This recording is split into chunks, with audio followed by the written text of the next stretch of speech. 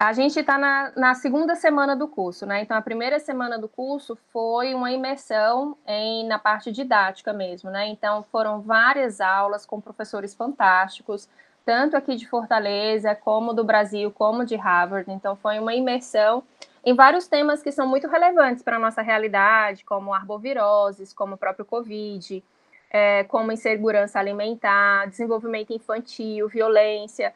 Então, foram muitos temas interessantes, onde a gente teve uma imersão, né, um, um, um olhar diferenciado para as políticas públicas voltadas para esses problemas, né, para a gente começar a articular projetos voltados para esses problemas, né? Então, o intuito desse curso é mais um curso prático de verdade. O intuito do, do, do trabalho no final é, do, do curso é a gente sair com projetos, né, para entregar para os políticos, enfim, para os gestores, para que algo possa ser feito para melhorar. Então, tem um, um, um objetivo em si no curso.